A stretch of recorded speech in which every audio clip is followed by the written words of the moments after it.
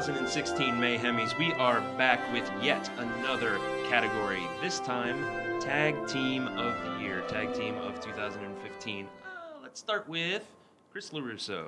Um, I thought that the tag team of the year, without a shadow of a doubt, and I'm going off the, uh, well, not really going off the beaten path. They, they've been long considered one of the top tag teams in the world, but uh, I got to go with the Young Bucks. Uh, this year was absolutely uh, huge for them. The Bucks signed with Ring of Honor, were uh, mainstays at New Japan, uh, New Japan World Junior Tag Team Champions. Uh, phenomenal matches with ReDRagon, phenomenal matches uh, in six mans with AJ Styles as a, as a part of the Bullet Club. Uh, the the Super Kick Party uh, has never been wilder, and it looks like that the party's not going to stop anytime soon.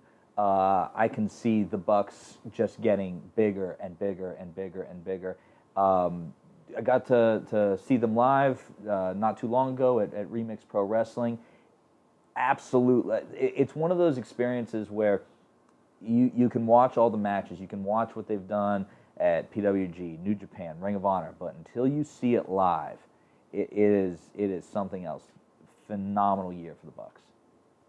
Excellent, Joe Dombrowski.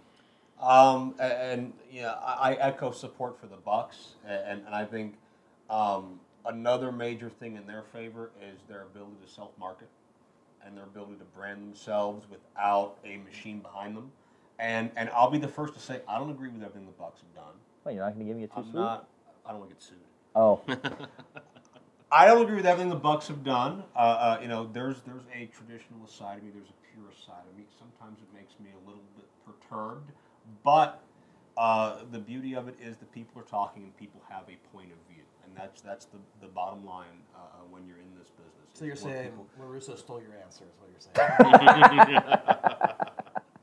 maybe I'm saying he didn't explain it as well as I could. Oh. Oh! Okay. Okay. Shots Now- fired. Now we're having fun. Super kick. And there's a lot of other great teams. Hey, I'm, I'm, I'm a fan of the Usos. Um, sometimes I'm a fan of the New Day, but I, I can't pick the New Day because I don't know what I'm supposed to think they are. Uh, they were fan favorites, and we booed them. They were heels, and we cheered them. Uh, uh, now they're in a weird gray area where I'm not sure how I'm supposed to feel about them. Um, so I'm going to go with ReDRagon. I'm going to go with Bobby Fish and Kyle O'Reilly. Uh, they traveled a lot of the same roads as the Young Bucks. They're very successful in Ring of Honor. They're very successful in New Japan, uh, IWGP Junior Tag Title reigns. Um, I'm a huge fan of Kyle O'Reilly. I think Kyle is one of the most underrated talents anywhere in this business today. And I think, and I'm going to go out on a limb here, and, and, and this may seem hyperbolic, but I think Kyle O'Reilly is pretty close to a blueprint of, of the next generation of a pro wrestler because he can combine the believability uh, and the, to use a, uh, uh, uh, I don't know if it's a George Bush term or if it's just a, uh, or, or, or, if it's, or if I took it from a, a George Bush spoof, but to use the strategery of, of mixed martial arts, implement that into wrestling in a way where we're not doing uh, uh, flimsy, bogus MMA, where we- we still have credibility, we still have a, a logical story, it's, it still looks and feels organic. Uh, he can do that and stay true to his wrestling roots, and, and it's not a case of one or the other. Bobby Fish is an amazing talker. Kyle has a great, dry, uh, uh, either uh, charming or annoying wit about him, depending on what he wants to do. So they have the entertainment. They're not mutually down as well. exclusive. No, not at all, not at all. But Bobby Fish, Kyle O'Reilly, ReDRagon, um, right up there with the Bucks as far as my favorite team to watch. And I like that pick because we had Bobby Fish, as you know, in, in uh, IWC with us for a while. Absolutely. Uh, not this year, but for the past, you know, the year or two before that. And, um, And they can watch a lot of him on DVD and digital, courtesy of Sorgatron Media. Yes, at right? IWCWrestling.com, Plug. IndieWrestling.us. Plug. Look it up. They have a search engine on there, I think. Sorg. A search engine? You can actually search Oh my on his website. Yes, he's got like uh, just type in Bobby Fish. You'll Website see right it. here. Come on, do it. He actually did a lot of cool stuff uh, with us, and, and he's only gotten better since. So, um, and I think you guys are both kind of like right where you need to be, as you got to almost look outside of the WWE now for uh, the tag team of the year because there's not a lot going on there. There's not a lot of consistency. That there's a lot of just guys thrown together to team.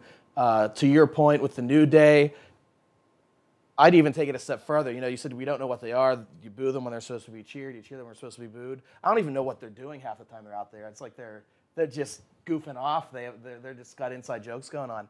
Uh, I can't I can't stand watching those guys. And the fact that Virgil wants to be a part of them now too can't make anybody happy because, well, it's Virgil. Is, is, yeah, that, is that Virgil or one of his talking heads? that's Virgil. Okay. Oh, that's Virgil. Yeah, he's a he's a personal buddy of mine. So. I see. Dear close personal longtime friend. Longtime friend. We go back like 11 months. Uh, but I'm going to stick with the big dogs just to give the more mainstream fans uh, an option if they're only voting on what we pick. I don't know what we're doing here. But That's all right. Nobody does. we don't know what we're doing. We don't know what we're We doing. are This isn't the presenting format? viable nominations for the 2006 the notes Mayhemmys. uh, I, I gotta. I'm gonna go with any combination of the Wyatt family simply because of the roles that they got to play this year. I mean, they got they got to do the Undertaker's anniversary show as his opponent, which although the match was kind of predictable and, and standard, it it was a huge to me a huge honor for them to get to step in there and watching a guy from the area, uh, Luke Harper, get to go in there and, and work with the Undertaker on such a big moment. It was just a very, very important moment in wrestling history.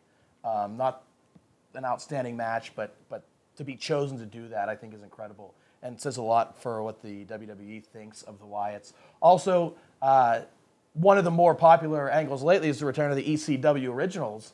Uh, Tommy Dreamer, Rhino, the Dudley Boys, which I mean, these guys are still getting huge pops when they come out. And when's the last time they were on WWE TV? It's been a while uh, since they've been on national television. You so. can see them locally uh, just in the last year. Where, where, Oh where yeah, did yeah, see at those guys? IWC, Uh, yeah, IWCWrestling.com, yeah, yeah. IndieWrestling.us, uh, Rhino and Dreamer all over the place, of course.